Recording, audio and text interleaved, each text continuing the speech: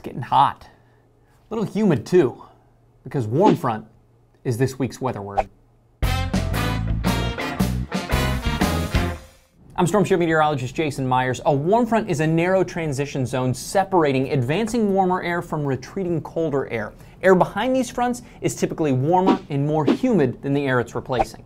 On a weather map, they're the red lines with red half circles aimed in the direction the front's moving. The easy way to remember this, red is hot and those half circles are like little half suns getting ready to heat things up. With a warm front, temperature and humidity slowly rise as the warmer air mass eases into this new area, unlike cold fronts that look more like a wall of cold air, abruptly changing weather conditions. That's why you're more likely to see steady, light to moderate precipitation instead of violent thunderstorms. What weather word would you like to know about next? Let me know in the comments below, hit me up on Twitter, or message me on the Storm Shield Facebook page. See you in a week.